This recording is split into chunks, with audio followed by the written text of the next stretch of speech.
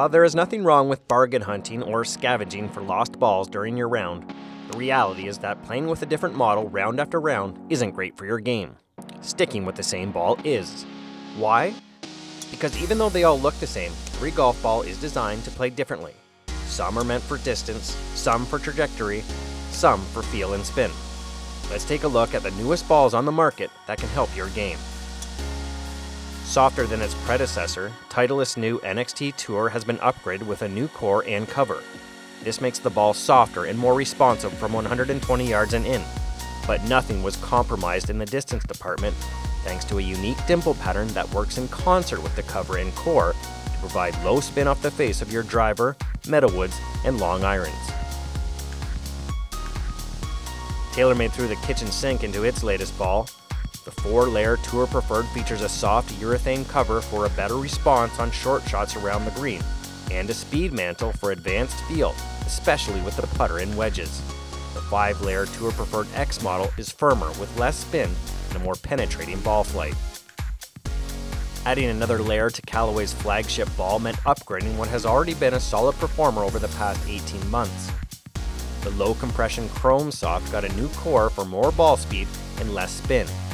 Re-engineered Hex Aerodynamics, a staple of Callaway balls over the past five years, helps to reduce drag while maintaining a high degree of stability in the wind.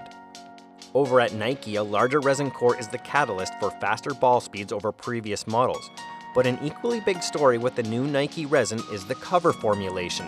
It has 344 dimples plus more than 13,000 micro dimples for exceptional wind stability. The new ball also contains a lower compression, adding feel, spin control, and short game responsiveness.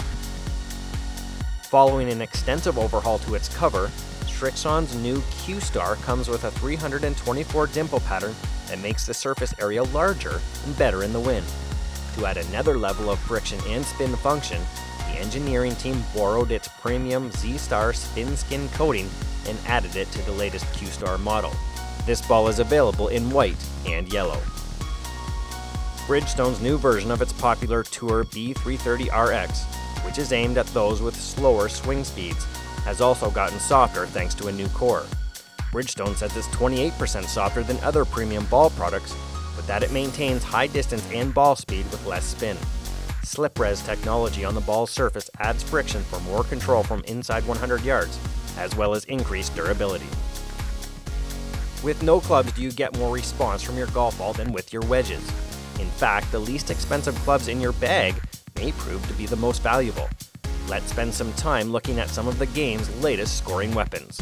The vision of TaylorMade engineer Clay Long in creating the company's new Tour Preferred EF wedges was to combine a classic club head with a face yielding enhanced spin.